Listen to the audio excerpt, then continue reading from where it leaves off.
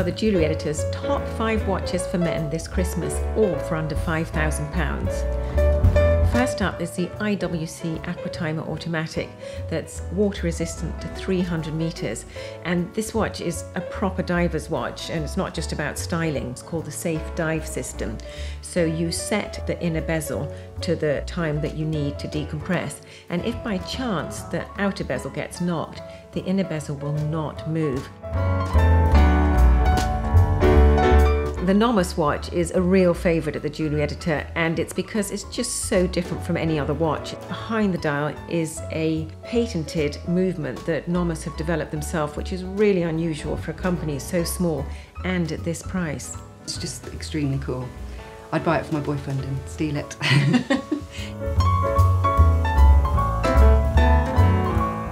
This watch has racing all over it, and this is Chopard's Grand Prix de Monaco historic watch, and they bring one out every year. And this one is in a titanium case, and it's got those really exciting yellow details and a 1970s inspired strap.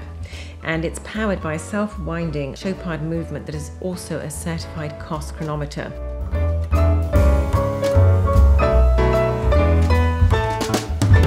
Is really one to look for if you're choosing a gift for a man because the Meisterstück Heritage Collection has all the looks and qualities of a much more expensive watch but offered at an incredible price. It's very, very classical watch on a steel bracelet and a sapphire back so you can see the, the, the automatic movement.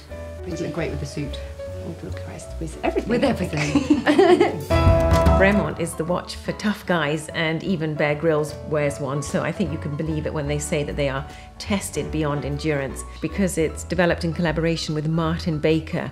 This is a company that makes pilots' ejector seats, and that's a piece of equipment you don't want to fail. And it also has a 24 hour time zone and is also resistant to magnetism.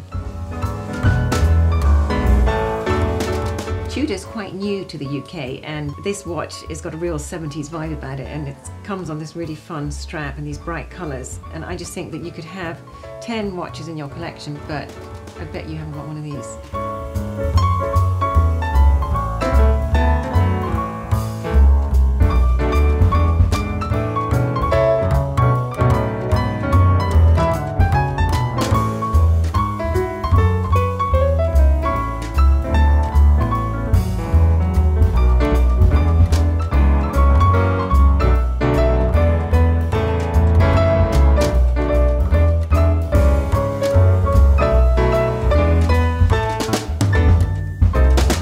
If you want to know all that's happening in the world of jewellery and watches, visit my website, thejewelleryeditor.com.